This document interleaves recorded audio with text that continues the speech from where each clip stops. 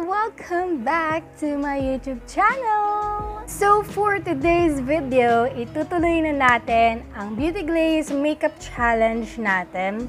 So tatlo na yung colors na nagawa na natin. So yung una, yung pink and purple eyeshadows. Yung pangalawa, yung blue eyeshadows. At ang pangatlo is yung green eyeshadows. So yung nahuhuli is ang orange eyeshadows. Actually, na-practice ko na yung makeup look na yon As you can see sa aking TikTok na Powerpuff Girls, yun yung ginamit kong eye makeup look kay Blossom. So, if you haven't follow me on my TikTok account, just um, search my username at Nicole0716. So, kaya hindi rin ako nakakapag-film ng YouTube videos kasi busy ako sa TikTok. so, without further ado, let's do the video. So for today's primer, I am going to use this Quick FX No Shine Mattifier. For the foundation, I am going to use this Maybelline Fit Me in the shade 228 Soft Tan.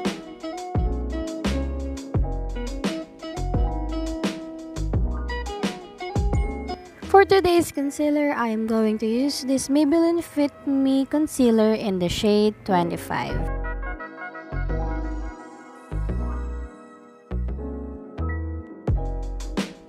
For my baking powder, I am going to use this Poreless HD by Kat & Kai Cosmetics.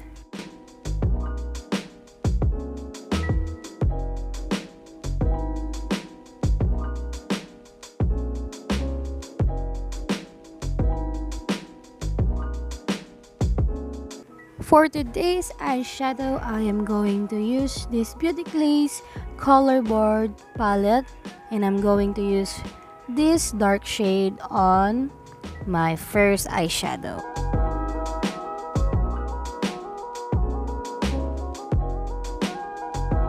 Second eyeshadow is I'm going to use this light orange and I'm going to blend it in the first eyeshadow.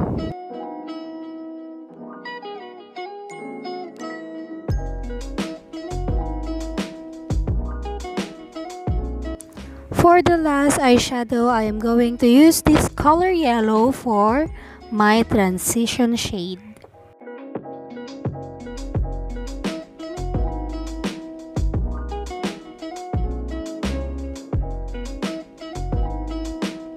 Tapos, ikakat ko yung crease ko. Gamit ko yung ginamit ko ring concealer kanina. And then, kuha ko ng cotton buds at makeup remover para tanggalin yung ginawa kong cat crease. So, next, syempre hindi naman tayo nagsisayang ng concealer. Iko-concealer natin ulit para maging base for the eyeshadow mamaya. Tapos, isuset ko lang siya gamit ang powder na ginamit ko kanina para matuyo agad yung concealer. And then, kukuha lang ako ng angled brush or yung pangkilay. Tapos, kukuha ko doon sa dark shades na pinakauna na ginamit natin. And, ilaline ko lang siya doon sa ating cut crease para mas maging depth yung cut crease natin. Or para mas makita. After nun, kuha tayo ng dark shades kanina sa mga ginamit natin. And then, lagay lang natin siya sa may outer V ng ating mata. And then, kuha tayo ng color yellow na eyeshadow. Tapos, yun yung ilalagay natin sa ating eyelid.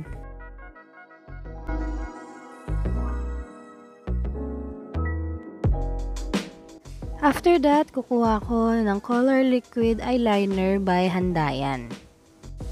Tapos, lalagyan ko lang siya doon sa may ating cut crease area.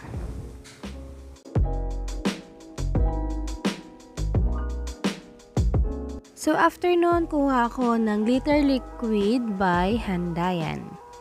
Tapos, ilalagay natin siya sa ating crease area para magkaroon ng glitter yung eyeshadow natin at para mas maging glamorous tingnan. So let's proceed to the contour and I'm going to use this BTLA Sculpt Trio palette.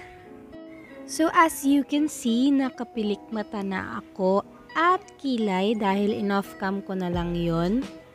So before ako nag-contour, nag-shape muna ako ng face. Ayun, so nag-contour na ako. Gamit lang din yung same Sculpt Trio Palette by BTLA.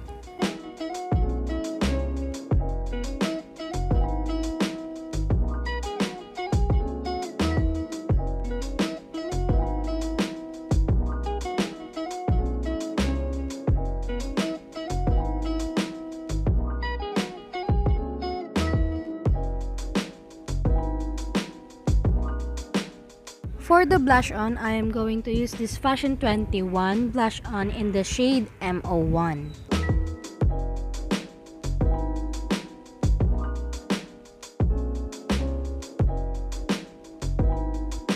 So next is for the highlight and I'm going to use this EB Advanced Glow Out Highlighter in the shade Strobe.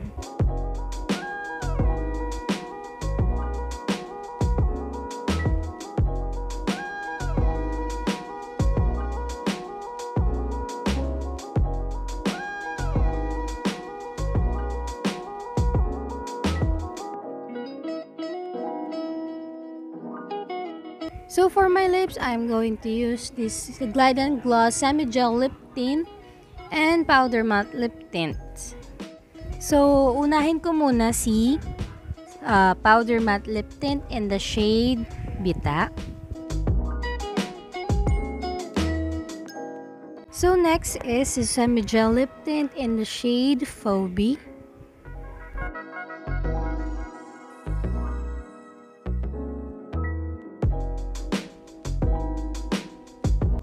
Go guys, this is my finished look. and yeah, sana magustuhan nyo tong makeup video na to and sana supportahan nyo pa rin ako sa mga susunod na videos ko.